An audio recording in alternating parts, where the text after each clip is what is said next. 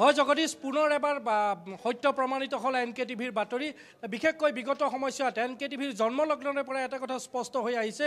যেতিয়াই অসমৰ কিবা বৃহৎ এটা ৰাজনৈতিক খবৰ বা বাতৰি যদি আহে বা অন্য বিভিন্ন বাতৰিৰ ক্ষেত্ৰতো দেখিবলৈ পোৱা হয় যে সেই বাতৰিটো প্ৰথমে কিন্তু এন কে টিভিতে প্ৰকাশ পায় আৰু পৰৱৰ্তী সময়ত আনুষ্ঠানিকভাৱে যেতিয়া সেই বাতৰিটোৰ সত্যতা প্ৰমাণিত হয় তেতিয়াহ'লে দেখিবলৈ পোৱা যায় যে এন কে টিভিৰ সেই বাতৰিটোৱে সত্য প্ৰমাণিত হয়। পূৰ্বতে এনেকুৱা ধৰণৰ বহু উদাহৰণ আছে যে যদি আপুনি কোনো এটা বাতৰি চাবলগীয়া হয় তাৰ সত্যতা প্ৰমাণ কৰিবলগীয়া হয় তেতিয়াহ'লে নিশ্চিতভাৱে এন কে টিভিৰ যি বাতৰি সেই বাতৰি বাৰে বাৰে সত্য প্ৰমাণিত হৈ আহিছে।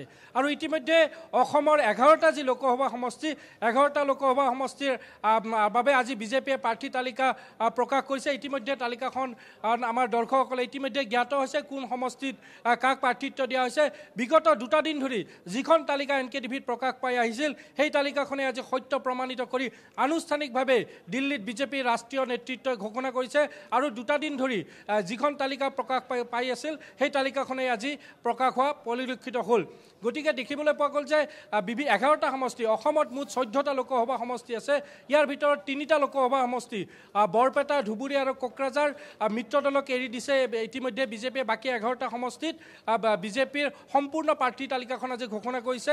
তালিকাখনত ক'ত কোনে প্ৰাৰ্থিত্ব পাইছে সেই বিষয়লৈ মই নাযাওঁ কিয়নো ইতিমধ্যে আমাৰ দৰ্শকসকলক সেই বিষয় জ্ঞাত হৈছে। মই কেইটামান গুৰুত্বপূৰ্ণ পইণ্টলৈ আহিছোঁ। তাত যদি আমি প্ৰথম মই চাবলৈ যাওঁ তেতিয়াহ'লে পাঁচজনকৈ সাংসদৰ এইবাৰ প্ৰাৰ্থিত্ব কৰ্তন হৈছে।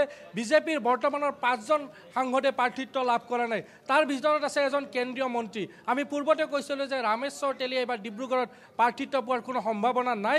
আৰু ইয়াৰ পৰিৱৰ্তে কেন্দ্ৰীয় মন্ত্ৰী সৰ্বানন্দ সোণোৱালে প্ৰাৰ্থিত্ব পাব। সেই বাতৰিক সত্য প্ৰমাণিত কৰি ৰামেশ্বৰ তেলী ডিব্ৰুগড়ত প্ৰাৰ্থিত্ব কৰ্তন হৈছে এইবাৰ। আৰু বাকী চাৰিজন যি সাংসদ আছে তাৰ ভিতৰত যদি আমি চাবলৈ যাওঁ তেতিয়াহ'লে দেখিবলৈ পোৱা যায় ৰাজদীপ ৰায় শিলচৰ। যিটো শিলচৰ লোকসভা সমষ্টিটো এই- এইবাৰ সংৰক্ষণ কৰা হৈছে গতিকে শিলচৰ লোকসভা সমষ্টিত এইবাৰ ৰাজদীপ ৰায় প্ৰাৰ্থিত্ব পোৱাৰ কোনো কথাই নাহে। ইয়াৰ বিপৰীতে গুৱাহাটীত কুইন ওজা তেওঁ প্ৰাৰ্থিত্ব নাপালে। পল্লৱ লোচন দাস শোণিতপুৰ লোকসভা সমষ্টিত তেওঁ এইবাৰ প্ৰাৰ্থিত্ব লাভ নকৰিলে। আৰু ডিফু সমষ্টিত হৰেণ সিং বে তেওঁ এইবাৰ প্ৰাৰ্থিত্ব লাভ নকৰিলে। তেওঁৰ প্ৰাৰ্থিত্ব কৰ্তন কৰা হৈছে। আৰু সামগ্ৰিকভাৱে বিজেপিৰ এই তালিকাখন মোৰ হাতত থকা এই তালিকাখন যদি চাবলৈ যাওঁ তাত কেইবা কেইটামান সমষ্টিত কিন্তু যথেষ্ট লক্ষণীয় হ'ব এইবাৰৰ নিৰ্বাচনী যুঁজখন। যুঁজখন দেখি- যদি চাবলৈ যাওঁ ডিব্ৰুগড় মই প্ৰথমে আহিছোঁ ডিব্ৰুগড় লোকসভা সমষ্টিত। ডিব্ৰুগড় লোকসভা সমষ্টিত বিজেপি কেন্দ্ৰীয় মন্ত্ৰী সৰ্বানন্দ সোণোৱালে যিহেতু বিজেপিৰ প্ৰাৰ্থিত্ব লাভ কৰিছে বিৰোধীৰ পৰা এইবাৰ ডিব্ৰুগড় সমষ্টিত প্ৰতিদ্বন্দ্বিতা কৰিব পাৰে উমৈহতীয়া প্ৰাৰ্থী হিচাপে বিৰোধীৰ বিৰোধীৰ লুৰিণজ্যোতি গগৈয়ে। ইতিমধ্যে লুৰিণজ্যোতি গগৈয়ে ডিব্ৰুগড় সমষ্টিত প্ৰাৰ্থিত্ব প্ৰদানৰ বাবে তেওঁৰ কুচকাৱাজ আৰম্ভ কৰিছে। গতিকে সৰ্বানন্দ সোণোৱাল আৰু লুৰিণজ্যোতি গগৈৰ মাজত ডিব্ৰুগড় সমষ্টিত যুঁজখন যথেষ্ট লক্ষণীয় হ'ব। আৰু আমি যদি চাবলৈ যাওঁ নগাঁও নগাঁও যদি লোকসভা সমষ্টিৰ কথালৈ আমি আহোঁ নগাঁৱত বিজেপিয়ে প্ৰাৰ্থিত্ব প্ৰদান কৰিছে নতুনকৈ সৌ সিদিনা বিজেপিত যোগদান কৰা প্ৰাক্তন কংগ্ৰেছী নেতা সুৰেশ বৰাক। সুৰেশ বৰাই কংগ্ৰেছ দল ত্যাগ কৰি তেওঁ বিজেপিত যোগদান কৰিছিল আৰু তাৰ পিছতে তেওঁক নগাঁও সমষ্টিত প্ৰাৰ্থিত্ব প্ৰদান কৰা হৈছে। নগাঁও সমষ্টিত এইবাৰ কংগ্ৰেছৰ প্ৰাৰ্থী হিচাপে গৌৰৱ গগৈ প্ৰতিদ্বন্দ্বিতা কৰাৰ যথেষ্ট সম্ভাৱনা আছে। গৌৰৱ গগৈ হয়তো নগাঁৱত কংগ্ৰেছৰ প্ৰাৰ্থী হ'ব পাৰে। গতিকে গৌৰৱ গগৈৰ সন্মুখত সুৰেশ বৰাই কিমান প্ৰত্যাহ্বান হ'ব? এইটো যথেষ্ট লক্ষণীয় হ'ব নগাঁও লোকসভা সমষ্টিত। গৌৰৱ গগৈক প্ৰতিহত কৰিব পাৰিবনে নাই? বিজেপি প্ৰাৰ্থী সুৰেশ বৰাই সেয়া সকলোৰে দৃষ্টি নিবদ্ধ হৈ থাকিব। শিলচৰত আমি ইতিমধ্যে কৈছোঁ শিলচৰ বিগত বৰ্তমান সময়তো বিজেপিৰ দখলত আছে গতিকে পৰিমল শুক্লবৈদ্যই তাত প্ৰাৰ্থিত্ব লাভ কৰিছে। গুৱাহাটীত বিজুলী কলিতা।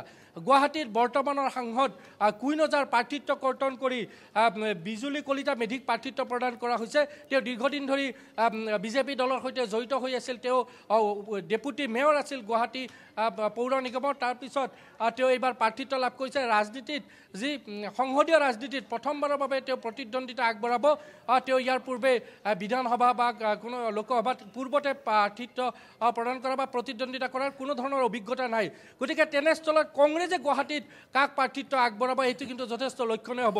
বিজুলী কলিতা মেধিক প্ৰতিহত কৰিবলৈ কংগ্ৰেছৰ প্ৰাৰ্থী বা বিৰোধী ঐক্যৰ প্ৰাৰ্থী কোন হ'ব এইটোও যথেষ্ট কিন্তু লক্ষণীয় হ'ব গুৱাহাটী লোকসভা সমষ্টিটোত।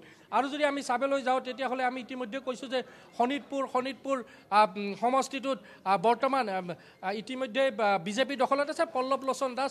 তেওঁ তেওঁৰ প্ৰাৰ্থিত্ব কৰ্তন কৰি ৰঞ্জিত দত্তক তেওঁ প্ৰাক্তন মন্ত্ৰী তথা বৰ্তমানৰ তেওঁ বিধায়ক বিহালী সমষ্টিৰ বিধায়ক তেওঁক প্ৰাৰ্থিত্ব প্ৰদান কৰা হৈছে। আৰু যদি আমি চাবলৈ যাওঁ দৰং ওদালগুৰিত পূৰ্বৰ মঙলদৈ লোকসভা সমষ্টিৰ সাংসদ দিলীপ শইকীয়াক নৱগঠিত দৰং ওদালগুৰি সমষ্টিত প্ৰাৰ্থিত্ব প্ৰদান কৰা হৈছে। এই দৰং ওদালগুৰি সমষ্টিত দেখি বিৰোধীৰ প্ৰাৰ্থী কোন হ'ব এতিয়াও নিশ্চিত হোৱা নাই। তাত বিভিন্ন ধৰণৰ জল্পনা কল্পনা চলি আছে। দৰং ওদালগুৰিত উম, কেইবাটাও এইবাৰ নৱগঠিত দৰং দৰং ওদালগুৰি সমষ্টিত দেখিবলৈ পোৱা গৈছে যে বি টি আৰৰ কেইবাটাও বিধানসভা সমষ্টি তাত অন্তৰ্ভুক্ত কৰা হৈছে। গতিকে দৰং ওদালগুৰি সমষ্টিত বি টি আৰৰ এটা বৃহৎ অংশ এটা থাকি যিহেতু অন্তৰ্ভুক্ত কৰা হৈছে তাৰ যুঁজখন যথেষ্ট লক্ষণীয় হ'ব। বি পি এফ দলৰ পৰা তাত প্ৰতিদ্বন্দ্বিতা আগবঢ়াব বুলি ইতিমধ্যে হুংকাৰ দিছে।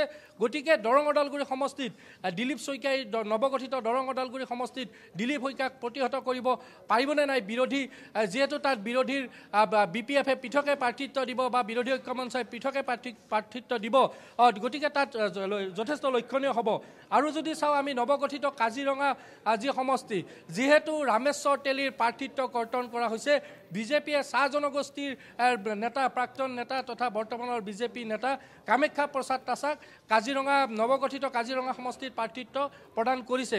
কাজিৰঙা সমষ্টিটোত পূৰ্বতে কলিয়াবৰ সমষ্টিটো কৰ্তন কৰি নতুনকৈ কাজিৰঙা সমষ্টি গঠন কৰা হৈছে আৰু কাজিৰঙা সমষ্টিত এইবাৰ দেখিবলৈ পোৱা গৈছে যে ভোটাৰৰ যি বিন্যাস সেই বিন্যাস যথেষ্ট সলনি হৈছে।